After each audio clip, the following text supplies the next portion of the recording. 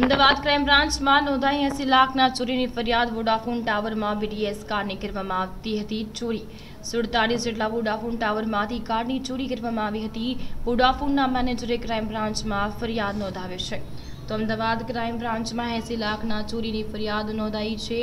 સુડતાલીસ જેટલા વોડાફોન ટાવરમાંથી કારની ચોરી કરવામાં આવી હતી.